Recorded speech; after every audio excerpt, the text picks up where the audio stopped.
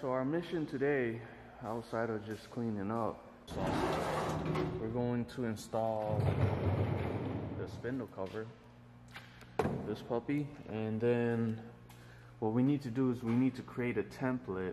I guess we're gonna create a cover for the top of the enclosure.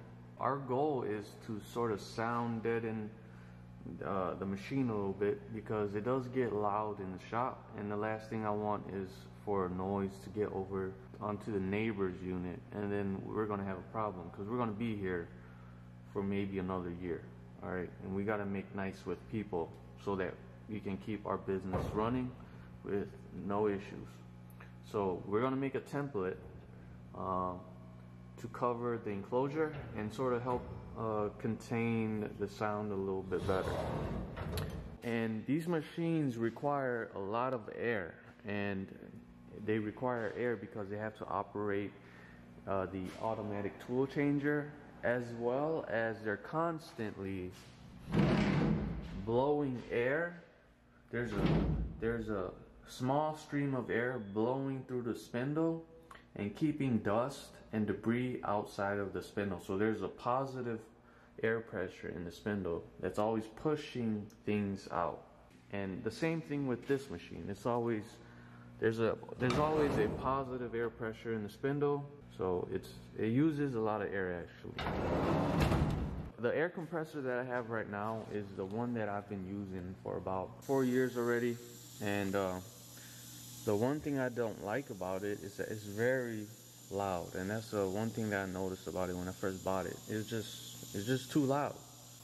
So we have a few layers here. We have uh, the the structure of it is a is two by four, but on the outside we have three quarter inch particle board, and then in between the frame uh, is a two inch piece of styrofoam, and then outside of that is some half inch drywall and then the most important material that sound deadens is going to be our carpet.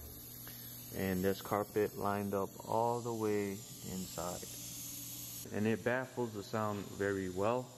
Uh, we're talking about like uh, before it would hit. Well, you know what? Let's do a test. All right, let's turn it on and see how loud it is. Let's consider this. It's already in the box. We just have uh, one side of it open. So it's going to be actually a, a, lot louder if this was outside of the box, but I don't want to take it outside of the box. That's just too much work. So let's just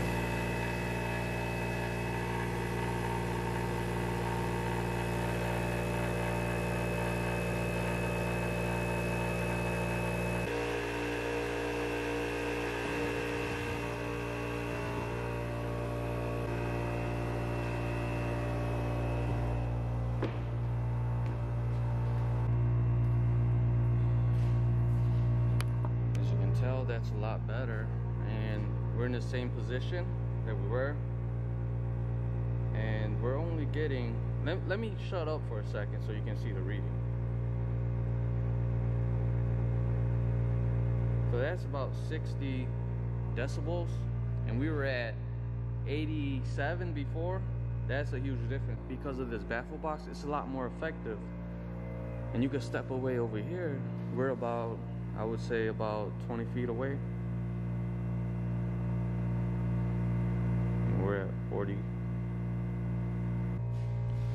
If we go into our office, and this office isn't fully sealed either. The door and then the ceilings aren't sealed off. There's gaps in there.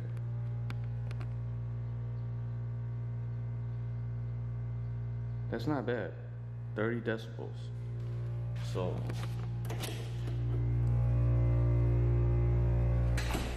However, I will say that even with the baffle box um, it's still too loud for me. What I'm going to do is I'm going to build sort of a closet space off to the side of a wall and I'm going to put that inside of the closet and hopefully we baffle it enough so that it's not even something that we notice when it turns on. So that's our solution for the sound that's coming for our air compressor now this air compressor is going to be the loudest machine in the shop we also have to take care of the sound that's coming from these two machines so uh, with this Haas as you can see, it's semi-enclosed, semi-fully enclosed. There's still an opening back here. So that's all we have to do is fabricate some panels that will cover the open spaces back here. But with the Fadal, it's uh, wide open, wide open at the top. So that's the point of making uh, the cover. And I'm gonna make it out of a 3 8 inch uh, plexiglass, but I have to make a template for it. So that's what we're gonna do today. But first, let's go ahead and put on the spindle cover. And we've been putting this off even though it takes, uh, it's not gonna take much time. I just want to go over the top, but that's not how we got it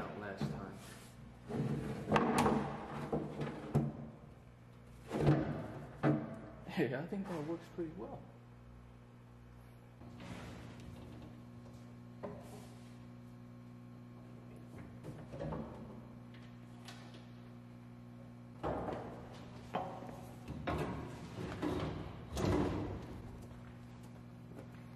Doesn't it look a lot better than before with the cover on? Looks a lot better. That's for damn sure. Alright, let's get up here and start taking some measurements. Trusty measuring tape. And... Okay. Alright. Here's basically what we're going to design.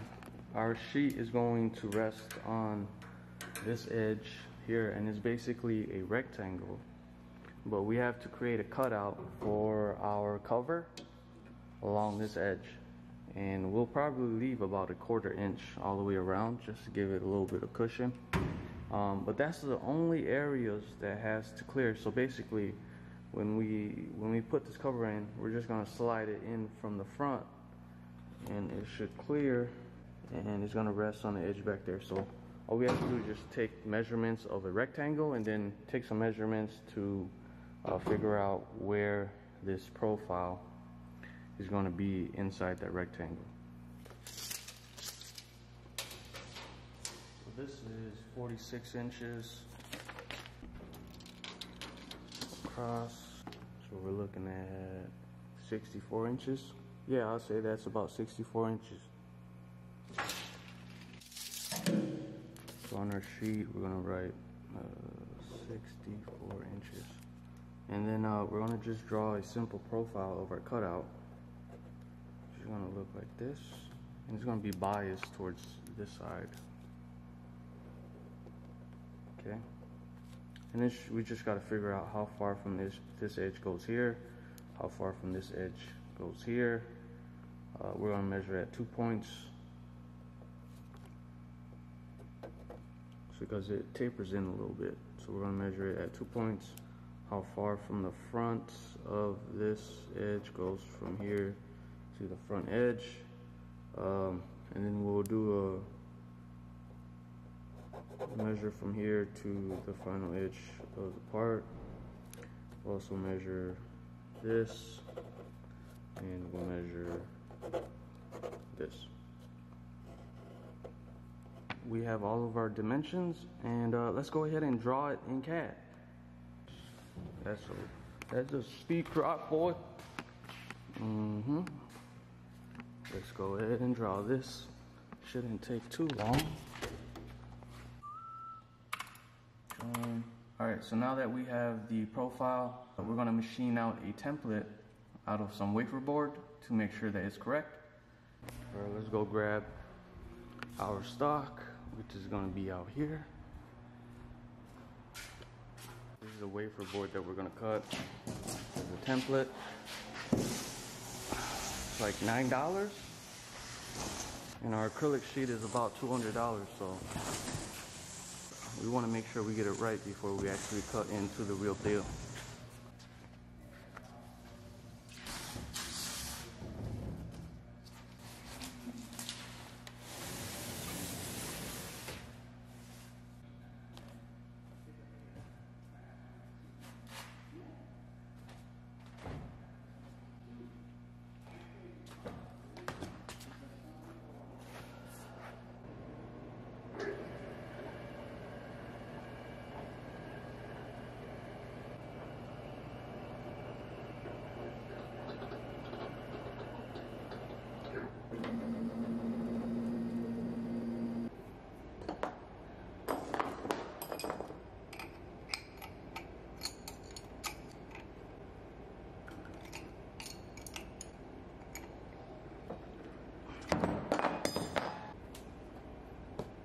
So this is uh, this is an aftermarket collet that I bought, a collet and nut, and uh, it's made for uh, to reduce runout on the wood routers. So there's a lot of runout with the the collets that come with the routers. So I bought these collets that are specifically made for this wood router, and that was a big problem using a very long tool like this. Is that there's a lot of runout, and it it one it will destroy your router a lot faster. Two, there's a lot of noise with all that runout, and um, three, it's not very accurate. So uh, using a collet like this, it reduces all of that. Precision collet, I think I got it for uh, 90, 80, 90 bucks. And it's worth the upgrade if you're using, again, if you're using a wood router, get yourself a precision collet, especially if you're using a long tool bit like this.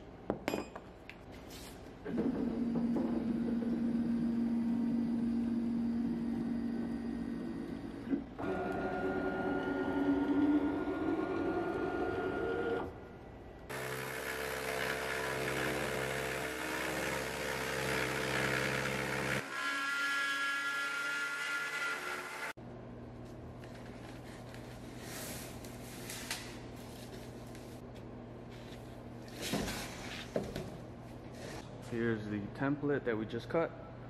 Man, it looks good. I think it's gonna work pretty well for us. Look at this. All that's left to do is uh, to test it to see if it fits. Let's go.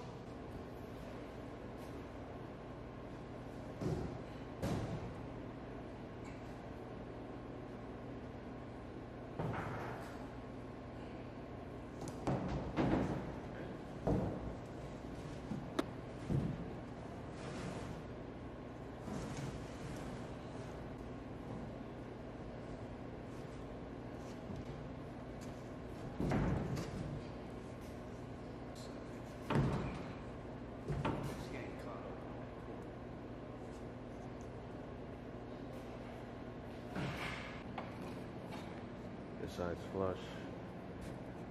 It's gonna form all the way around the cover. Ah, this shouldn't lean on it. Same way with this side, except uh, we need a little bit more space right here because it's getting caught up. And that's not sitting flush all the way at the front edge. So we have to change that. We're gonna have to move it. And actually, I think I'm gonna close this gap a little bit further too much gap for me. But it's looking, uh, looks like we have a pretty good profile. We just have to change a few things about it. I'm just gonna cover this side with like a piece of HDPE. We're gonna make this piece out of a 3 8 inch uh, acrylic and we're gonna fasten it down at the edges. Also the back there has a open hole. I'm gonna cover that as well. Back, we have a wide open. We got to cover this up. I think we're going to make another cover for this side too. Hmm. It's looking good, man. Looking good.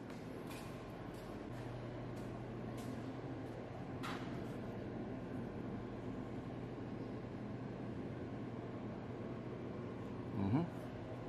All right, I think that's it for today.